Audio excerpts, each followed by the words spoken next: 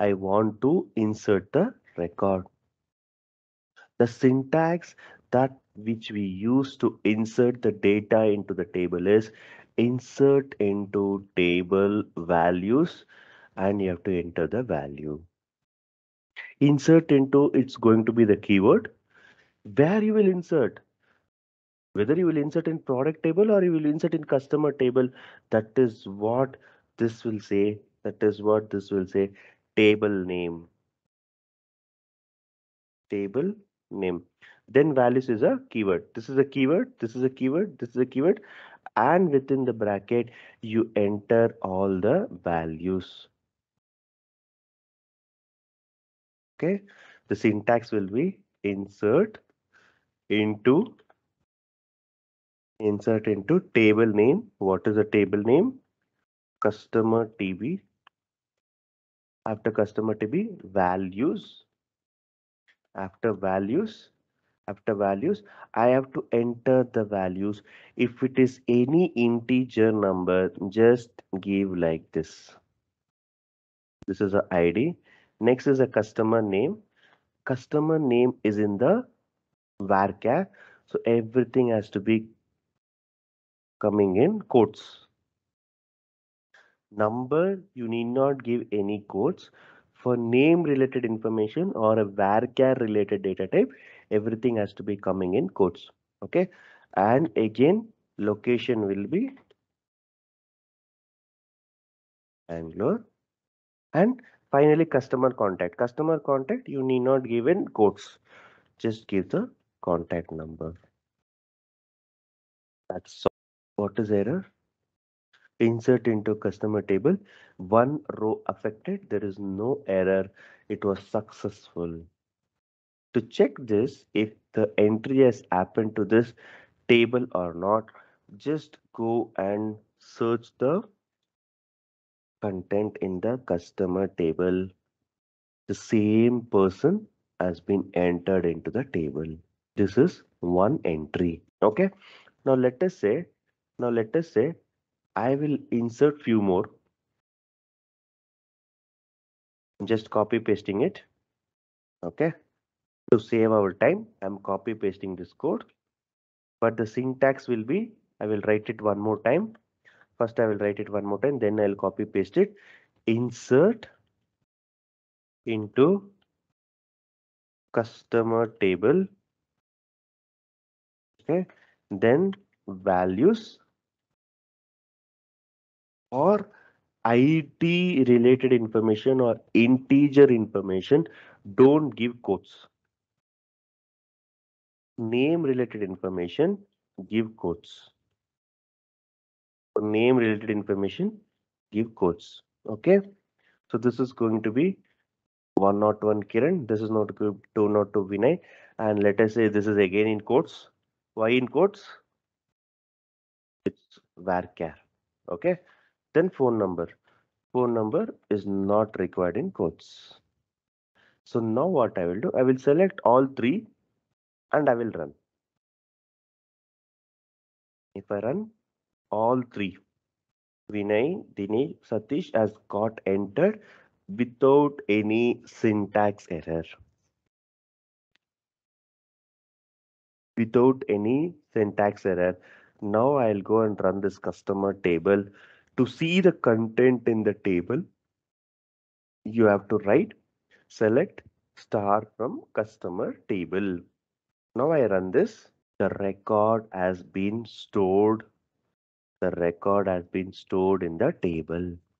See, in the real time, I'm telling you, no one is going to do this manually insert. Okay, everything will come from the application. You go to Amazon, you tell that uh, I have to sign up for the first time. When you give the sign up, all the detail it will take, right? It will take your uh, details like your phone number, email. Directly, they would have written a logic in some Java code or a .NET code that will directly enter into the table. But this is how at the backend it works. There is other way. Okay. Let us try what is the other way. I will write one more bracket here. And within the bracket I will write customer ID customer name customer location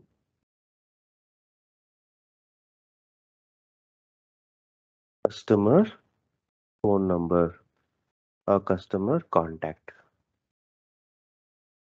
Use this. Now what is happening? I'll put it in the next line. I'll put it in the next line. Okay. What I've done, what I've done, insert into table is there. After the table name, within bracket, I've given all the columns that is present. Now what happens? One not one will go and sit in the first one. Suresh will go and sit in the second one. Goa will go and sit in the third one. This will go and sit in the this one. Okay. Now let us run this. Insert into customer table. I have given four. I've given four. Okay. First, I did not give anything. Simply, I gave values. It worked. Now, again, what I'm doing, values is still there. Four values are there, but this time I'm specified the columns. I've specified the columns. This is the other way of inserting. Now, if I go and see here to select the customer information, Suresh would have come. Suresh would have come. Okay. Now, can I apply same concept to this account? This account? Now, the person is not interested to give phone number. Can I write like this? Customer customer ID. See, I got an error because the values were not matching. Column count does not match because I'm just giving three records. Okay, so customer ID, customer name, then customer location.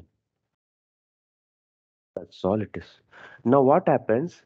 Customer ID, this value will go inside. Customer name, this value will go inside the second one. And the customer location, this value will go inside. Now I'm not giving any phone number. Now let us see what happens. I did not get any error. How to delete a record? See, in your case, you're doing from the UI. In UI, you will go, you will select uh, like deactivation, delete an account, everything you do. But internally in database, this is how it happens. Okay, what it happens? Delete the keyword. That's why that's in blue color. From where you're deleting? Customer table. Delete from customer. From the UI, the customer may be telling that, okay, I want to delete this account, or maybe I want to deactivate this account. In the backend, this is what the code it will be doing. Who is the person who wants to get deactivated? You have to write where customer ID equal to one not six I have around seven customers. You have to tell the date table, you have to tell the table, hey, only one person want to deactivate their account and his customer ID is 106. Now what will happen? Just observe. Just observe 101, 102, 103, 104, 106, 105, 107. 106 record is a person who has decided to who has decided to delete the account. Delete from the customer. There is no syntax error. It's executed. Now let's go and see the customer information. Where is Suresh? Where is Suresh? He has been removed from this table. This table holds all the active customer information but unfortunately the customer wanted to deactivate because he was purchasing more he felt that he is wasting a lot of money on this product he wanted to he wanted to move out of the Amazon and he wanted to go with any Flipkart or Snapdeal, something like that. What happened? He wanted to delete it at the back end. I I'm still a customer of Amazon, but due to this lockdown, due to this lockdown, I actually changed the location. I was in Bangalore. Since they have released a work from home permanently, I am thinking to go to my native and get settled there. Anyhow, my cost of living is going to come down. So any products which I order going forward, it should not come to my Bangalore location. It has to come to my locked or like the native place. What I should do, I need to call the customer care and tell that I want a change of address or manually you can do it from your let us say this person who was in Bangalore let us say they now went to Kerala. I will go and update the data in the existing table. It has to be updated okay?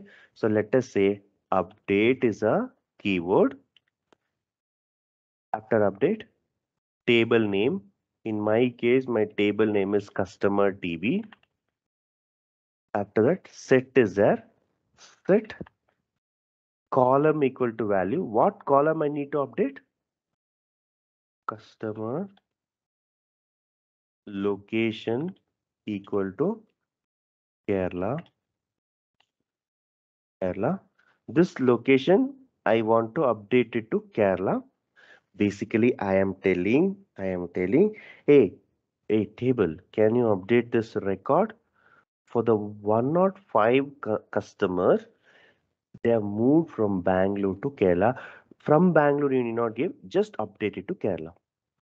Updating is done with respect to set command. Now i will run this. I did not get any error. There is one row affected. That is one changed. Okay let me go and run the table. Where was the 105 was person? 105 person was in bangalore. Now did i delete the record? No i've just updated. Rather than putting in the terms like where where condition is mandatory i will tell delete statement and update statement without a where clauses. Very very risky to run. If